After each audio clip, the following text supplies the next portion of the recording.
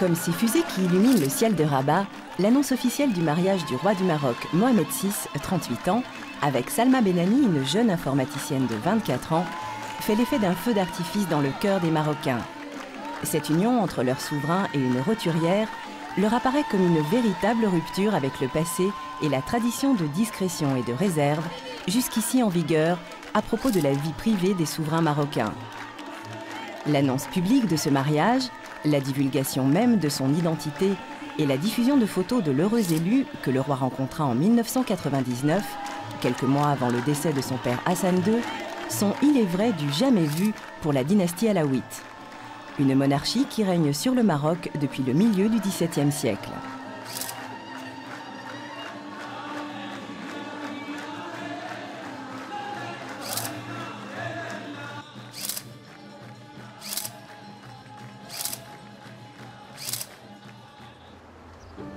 Le mariage prévu le 12 avril à Marrakech est reporté pour que les fastes de la cérémonie ne choquent pas le peuple marocain au moment où le Moyen-Orient s'embrase à nouveau. Finalement, la date retenue est le 12 juillet suivant. Le choix du lieu se porte sur Rabat. Rabat, capitale du Maroc, en réalité une petite ville aux allures provinciales, où les cercles islamistes sont peu influents. En préparation de l'événement, les artères de la ville ont droit à un coup de peinture fraîche, les drapeaux fleurissent à tous les carrefours et tous les journaux marocains soulignent le côté révolutionnaire de l'événement. En tout cas, la volonté de Mohamed VI de dépoussiérer fortement l'image du palais et de la cour est bien perçue par toutes les couches de la population marocaine. Oui, c'est un mariage parfait. C'est nouveau pour nous, nous sommes très heureuses. C'est bien. Surfant sur la vague de séduction de ce mariage, l'hebdo La Vie économique a même commandé un sondage sur le rôle de la nouvelle souveraine. En priorité, 30% des sondés comptent sur elle pour appuyer une proposition de loi interdisant les violences sur les femmes et les enfants. Curieusement, seuls 4% sont concernés par l'interdiction de la polygamie. Par contre, plus de 12% espèrent qu'elle soufflera au roi de faire voter une loi pour que la femme ne soit plus à l'avenir obligée de donner son salaire à son mari.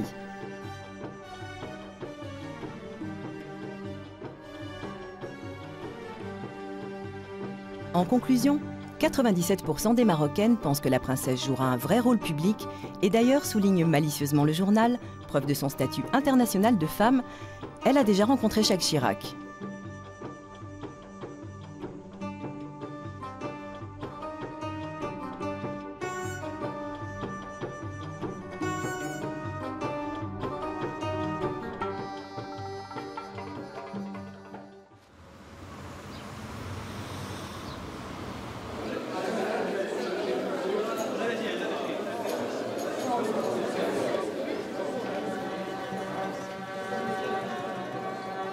Autre signe de la volonté du palais de faire partager cet événement avec la nation tout entière, 200 couples de jeunes mariés de toutes les provinces du Maroc sont conviés à célébrer l'événement à Rabat en même temps que le couple royal.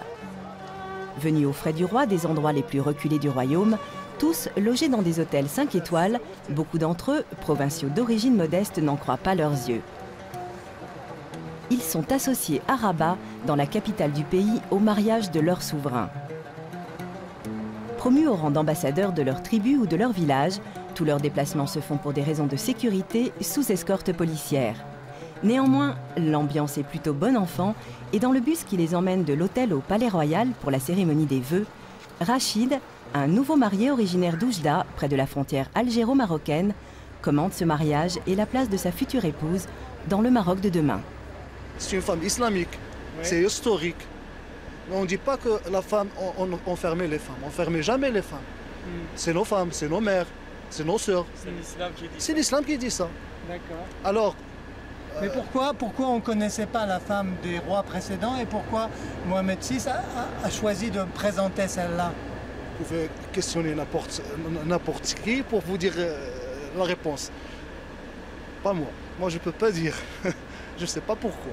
Je ne savez pas pourquoi, mais c'est un bon, un bon point pour le Maroc. C'est un bon signe pour le Maroc. C'est bon, c'est bien. C'est bien pour, pour, tout le monde, pour, la société, pour la femme marocaine? Oui, pour la société, euh, soi-disant pour la société. Pour les femmes, oui. Pour les hommes, un petit peu. Mais euh, vous savez que un pays, pour, pour, pour se développer, la femme soit, c'est la femme qui doit se développer. Alors c'est elle qui, c'est elle, qui éduque nos enfants. Voilà, c'est pour cela que la femme doit être présente dans la société, doit avoir un appui par son mari, par l'homme. C'est pour cela, c'est ce que je crois, tout de même.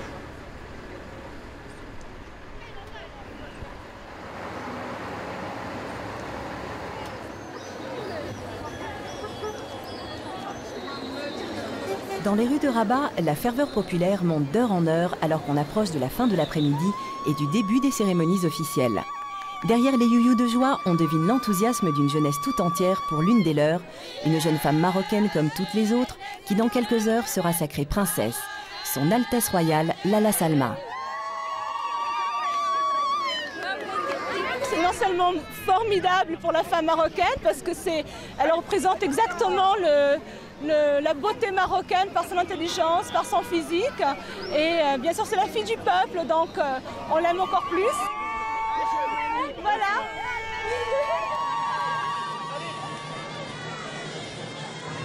Conformément à la tradition marocaine, les cérémonies du mariage royal sont planifiées par le palais sur trois jours, les 12, 13 et 14 juillet. Ainsi, le vendredi, le mariage commence par la présentation des vœux et des idias, les offrandes, étape incontournable dans toutes les célébrations de mariage marocain traditionnels. Rendez-vous est pris pour tout le monde à Baba Soufra, la porte des ambassadeurs, au pied de la mosquée Al-Fas sur l'esplanade du Palais Royal, qui est réellement une ville dans la ville à l'intérieur de Rabat. Là, chacun des participants, sans doute pour cacher son émotion d'avoir été choisi parmi des milliers de sa ville ou de sa province, tente de se préparer le mieux qu'il peut. Tous, c'est visible, en répétant leurs pas de danse ou en chauffant leurs tambourins, ont décidé de donner le meilleur de leur talent pour présenter les particularités de leur province d'origine. C'est l'ensemble de ces différences qui fait la richesse du Maroc.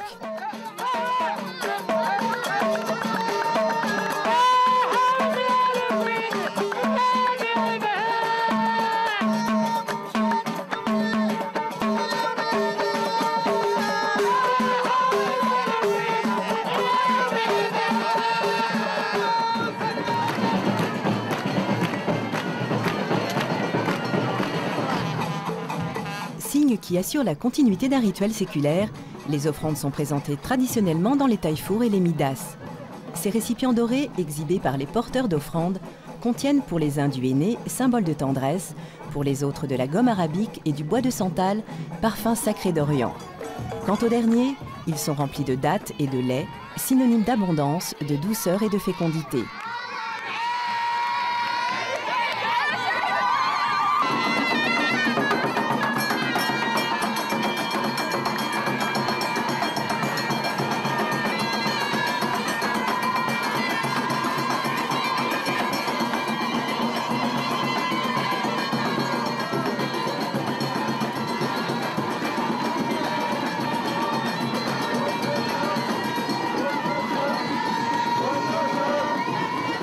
Levés depuis l'aube, venus de leur campement où ils sont regroupés aux quatre coins de la capitale, tous les porteurs d'offrandes, les femmes des tribus, les musiciens, mettent des heures à former ce cortège de plusieurs kilomètres qui va avoir l'insigne honneur de défiler devant le roi, son frère cadet, le prince Moulay Rachid et les invités personnels de Sa Majesté regroupés dans la tribune d'honneur.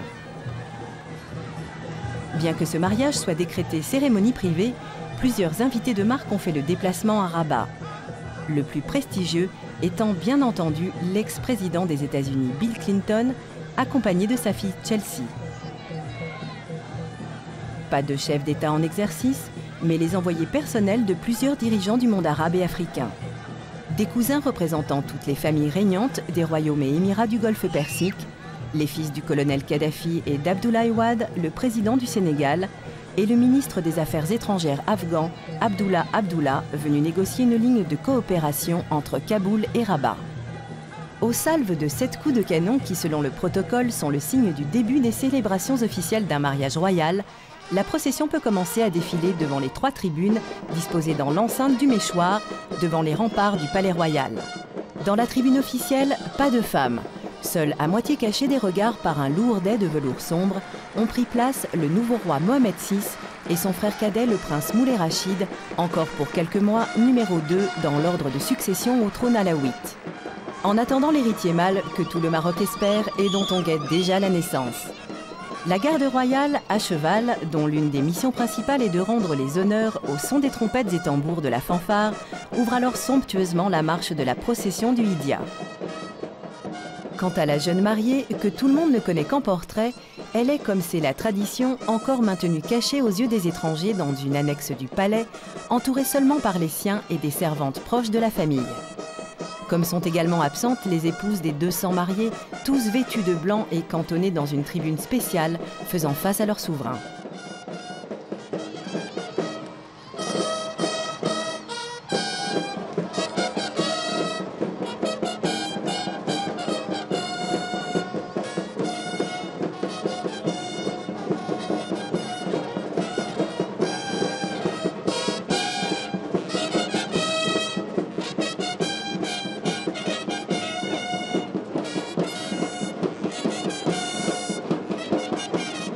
Derrière la fanfare à cheval, le défilé s'ouvre en présence du wali, des gouverneurs et des élus de Rabat, des écoles coraniques, des groupes de jeunes, des membres du Parlement de l'enfant, des jeunes filles portant des pétales de rose, suivis d'une procession de grands cierges de cire typiques de la région de Rabat-Salé.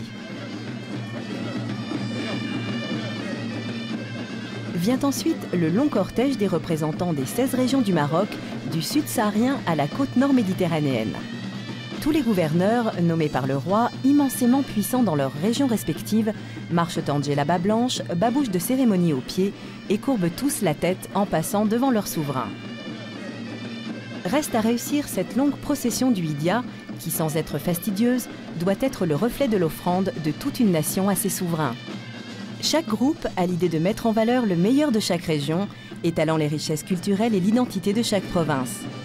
Place donc à la musique et aux pas de danse aériens et acrobatiques des Aïssois et des Hashmarda, aux danses chaloupées et envoûtantes de la Guédra pour la région saharienne de Goulimine et de Smara. Les Marocains présents à Rabat, mais aussi les téléspectateurs dans le plus petit douar du Maroc, suivront sur leur téléviseur les images de la RTM, la radio-télévision marocaine, qui ne fera pas moins de 6 heures de direct ce jour-là.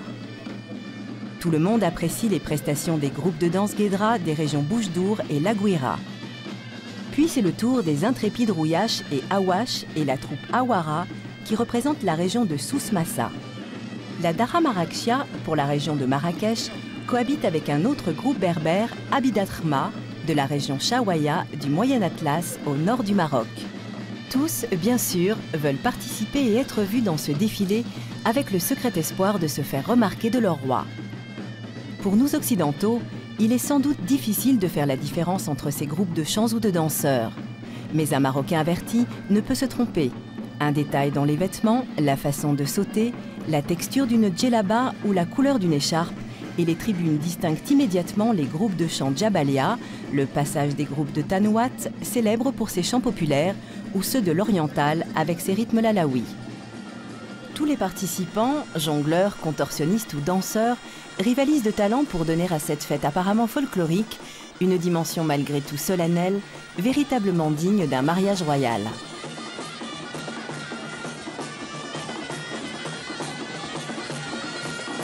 Chaque région du royaume s'est ainsi ingéniée avec beaucoup de sérieux et de longues semaines de préparation à donner à travers ses costumes traditionnels et ses chants la meilleure image d'elle-même histoire de marquer de sa particularité cet ensemble étonnant de tribus qui forment contre toute attente la richesse et la diversité du royaume chérifien.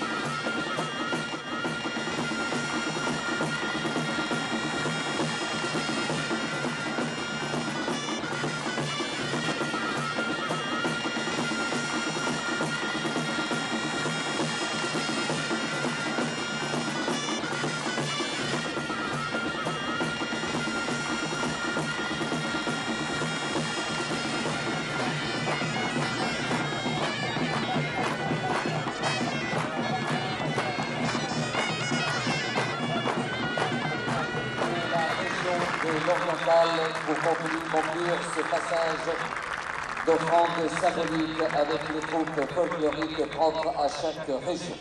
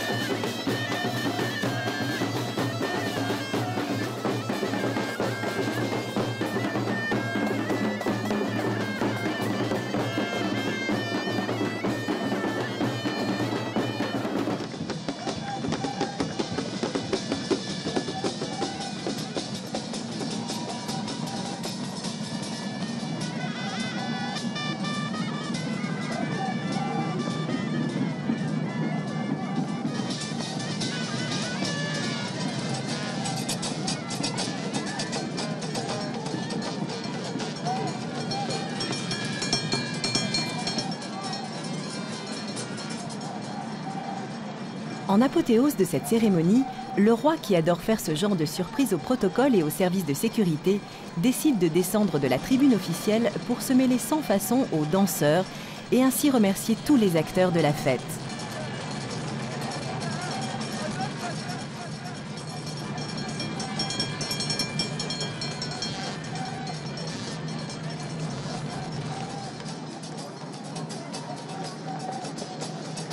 Accompagné du prince Moulay Rachid, il s'avance sur l'esplanade du Méchoir dans une cohue indescriptible, ce qui rend extrêmement nerveux tous les membres des services de sécurité qui courent dans tous les sens pour mettre un semblant d'ordre dans ce happening royal.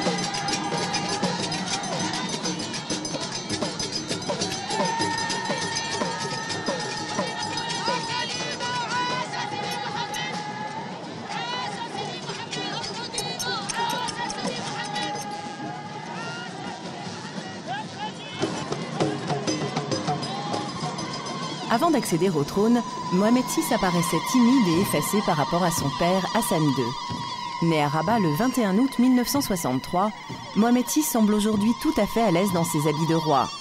Il a été dès le plus jeune âge sévèrement éduqué par les précepteurs de la cour. Hassan II fait entrer le jeune prince dès l'âge de 4 ans à l'école coranique du Palais Royal et il n'hésite pas à confier à son fils de véritables missions de représentation du pays à l'étranger. Mohamed VI est sacré roi du Maroc le 23 juillet 1999, après le décès d'Hassan II. Dans son premier discours à la nation, il s'engage à poursuivre l'œuvre de son père et, fait nouveau, à accorder une attention particulière à la solution des problèmes sociaux qui gangrènent le Maroc.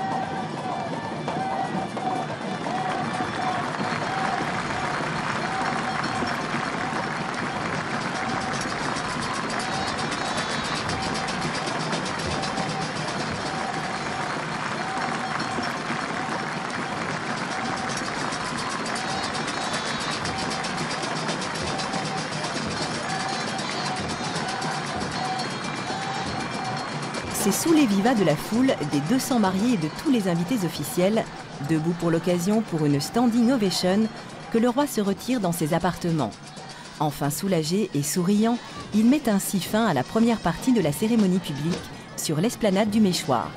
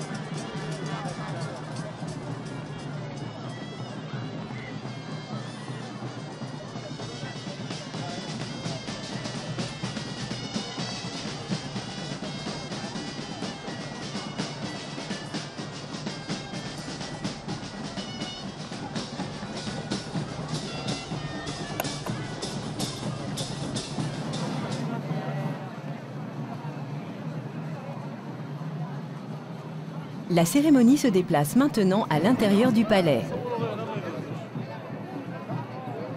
Pour entrer, il faut être sur la liste des invités privés de Sa Majesté.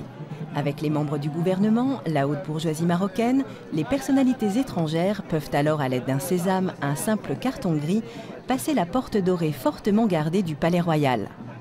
C'est là que va se dérouler la cérémonie traditionnelle beaucoup plus intime du aîné.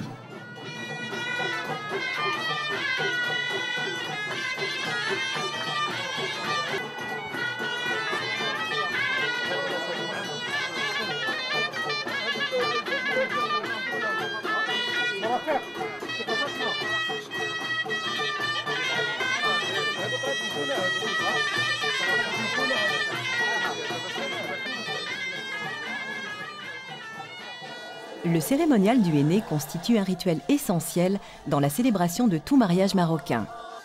Au milieu des youyou et des incantations bénissant ce moment de bonheur, la nouvelle Altesse royale, la princesse Lala Salma, se voit dessinée par la Hanaya, la préposée à l'art du henné, des arabesques sur les paumes des mains et les pieds. Plusieurs dizaines d'assistantes de la Hanaya feront la même chose sur les 200 jeunes épousées, toutes encore la tête recouverte d'un voile vert.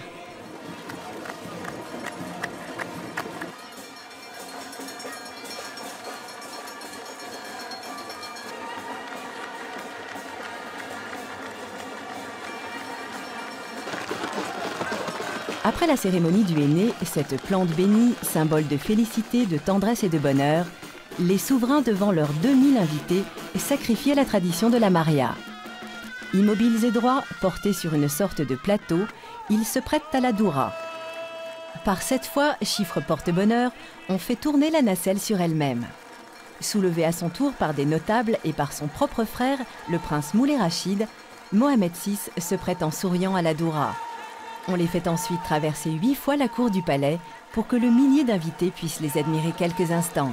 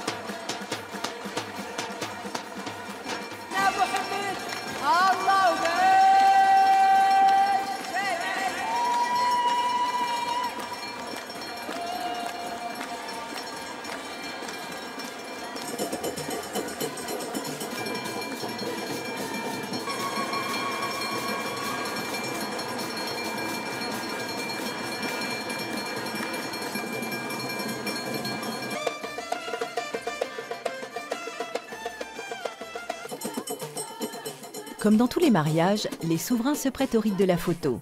Prise par le seul photographe officiel du palais, dont le père officiait déjà sous Hassan II, le cliché paraîtra le lendemain dans toute la presse du Maghreb et du monde arabe.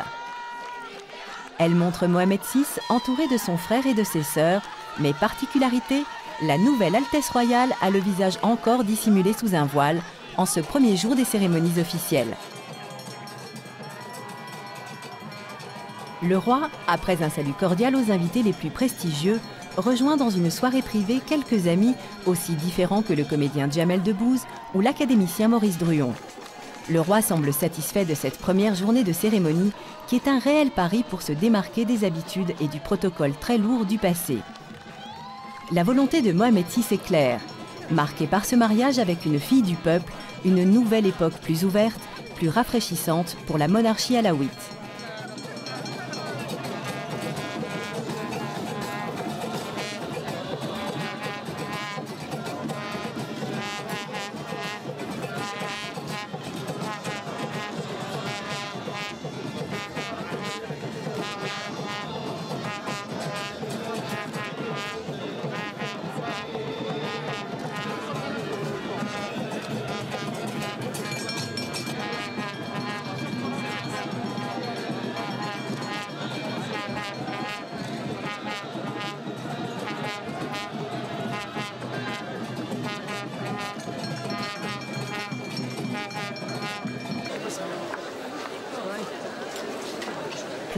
D'observateurs, comme Ahmed Sefreoui, historien de la famille royale, cette nouvelle union, ce message d'un roi aux jeunes Marocains de sa génération, est un premier pas intéressant sur la voie d'un Maroc dépoussiéré de ses carcans traditionnels.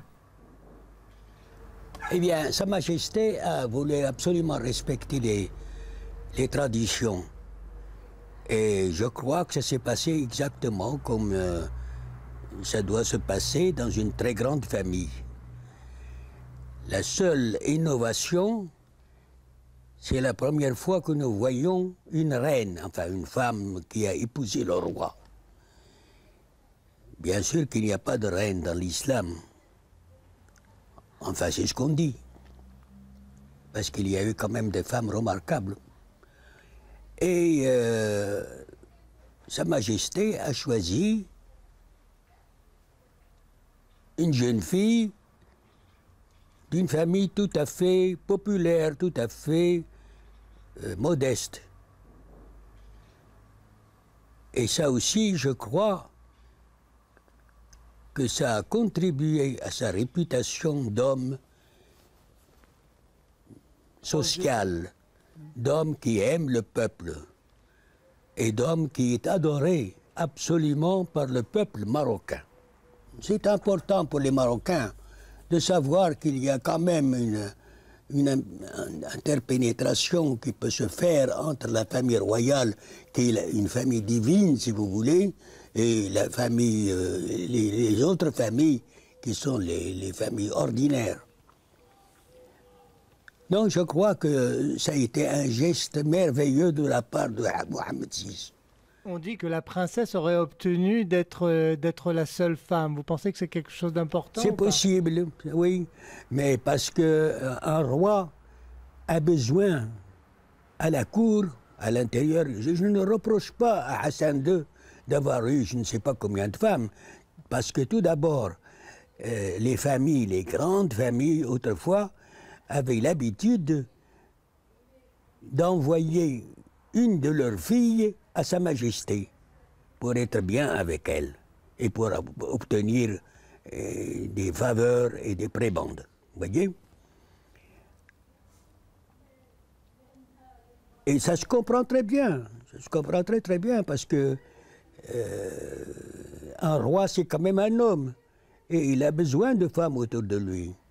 il ne peut pas aller comme nous, comme vous et moi, euh, n'importe où pour en trouver. Comment vous pouvez expliquer tout ça, cette contradiction entre le modernisme et la tradition il n'y a pas tellement une contradiction. Il y a simplement, le plus souvent, une mauvaise interprétation des gens de l'extérieur de ce qui peut se passer à l'intérieur, à l'intérieur du palais. L'intérieur du palais, c'est comme euh, le palais de chinois, là, etc. Il se passe des choses extrêmement euh, compréhensible et très sensible et très gentil et très bien, mais en réalité qui échappe totalement aux gens de l'extérieur, qui ne peuvent pas comprendre pourquoi. Pourquoi il y a un voile, pourquoi il y a ceci, il y a cela. Ça fait quand même 300 ans que cette dynastie règne sur le pays.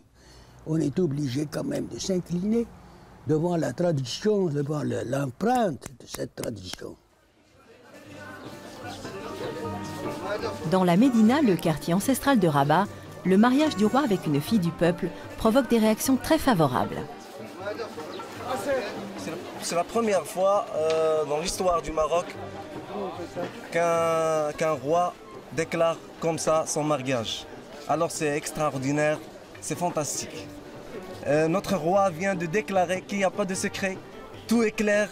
Les Marocains sont un peuple euh, moderne. Alors.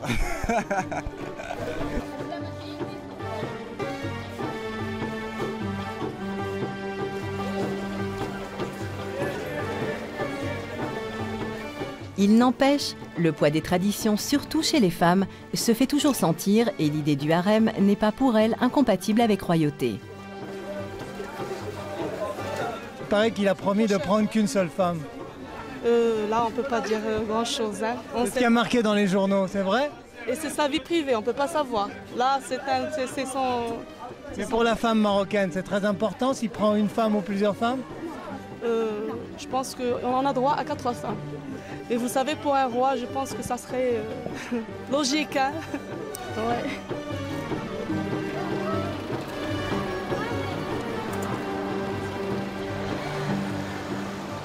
Pour l'instant, au bord de la rivière qui sépare Rabat et Salé, à l'ombre de la tour Hassan et du tombeau de Mohamed V, les familles déambulent au soleil. Le roi a décrété férié les trois jours de son mariage avec Lala Salma.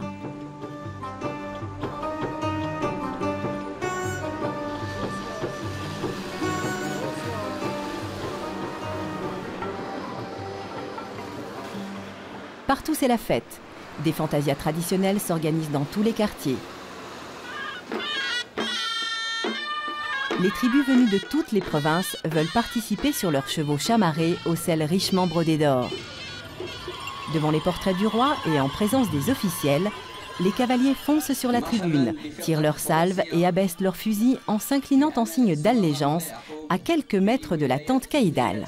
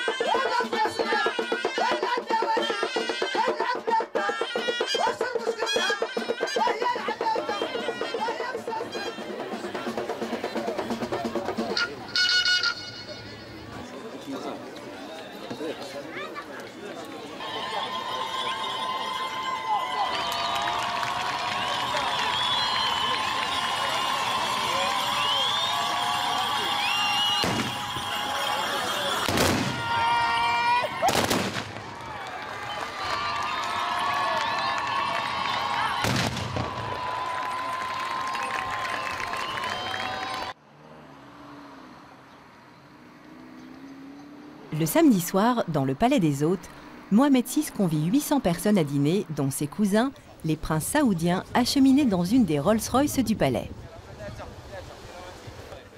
Pour la première fois, les invités vont découvrir sans son voile la nouvelle Altesse royale.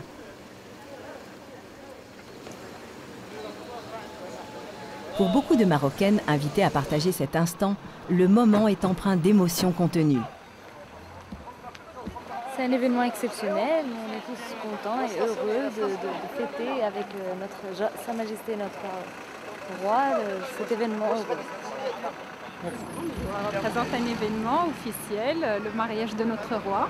Le fait qu'il ait présenté la princesse euh, officiellement, c'est quelque chose de très nouveau. Bien sûr, c'est très nouveau. C'est très nouveau pour la société marocaine. C'est une jeune fille que- qui est très jolie et que nous avons eu le plaisir de voir pour la première fois. C'est la première femme de roi que nous voyons.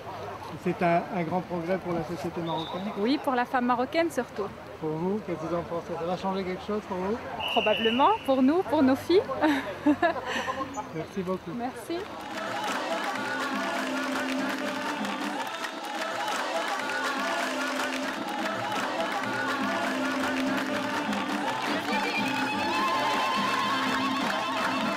Est-ce l'absence de voile ou le sourire de Lala Salma qui déteigne sur le roi et ses invités Mais tout le monde est visiblement plus détendu et la cérémonie plus décontractée que celle de la veille.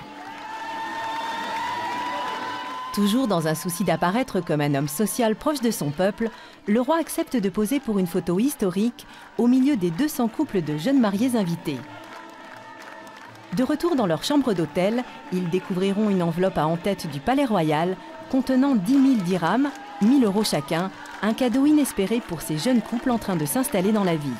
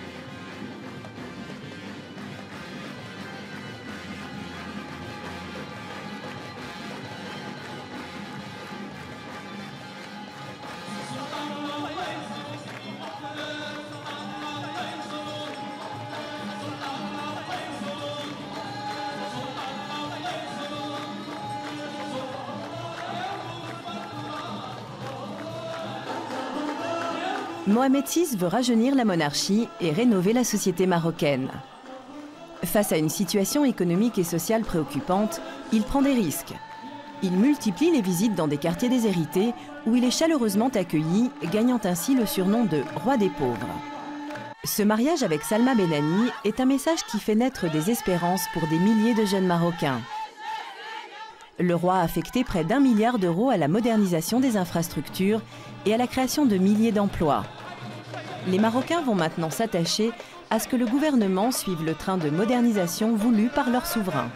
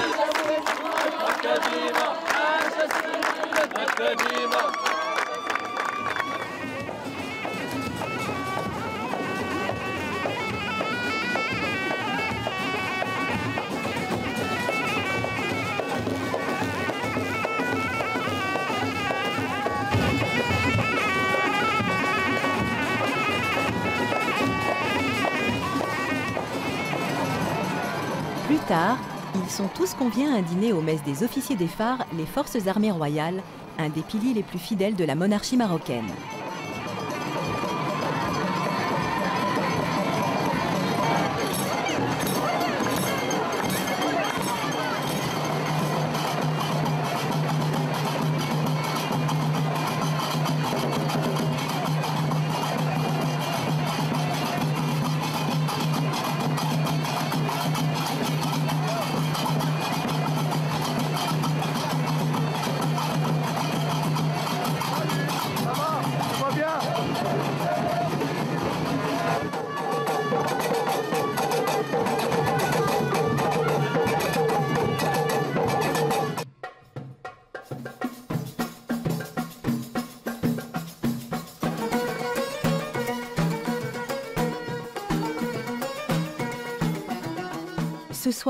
ils célèbrent ensemble cette incroyable aventure, participer au mariage de leur souverain.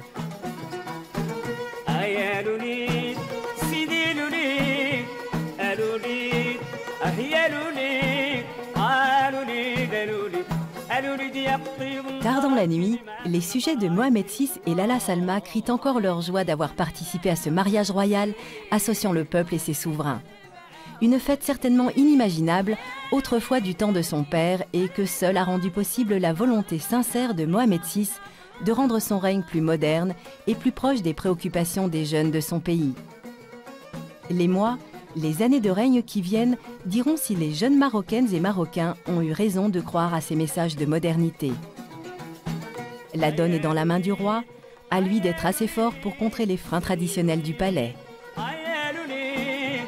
يالولي دالولي قالوا لي دي يا طيب مقرا الدنيا معاك مقرا يهديك الله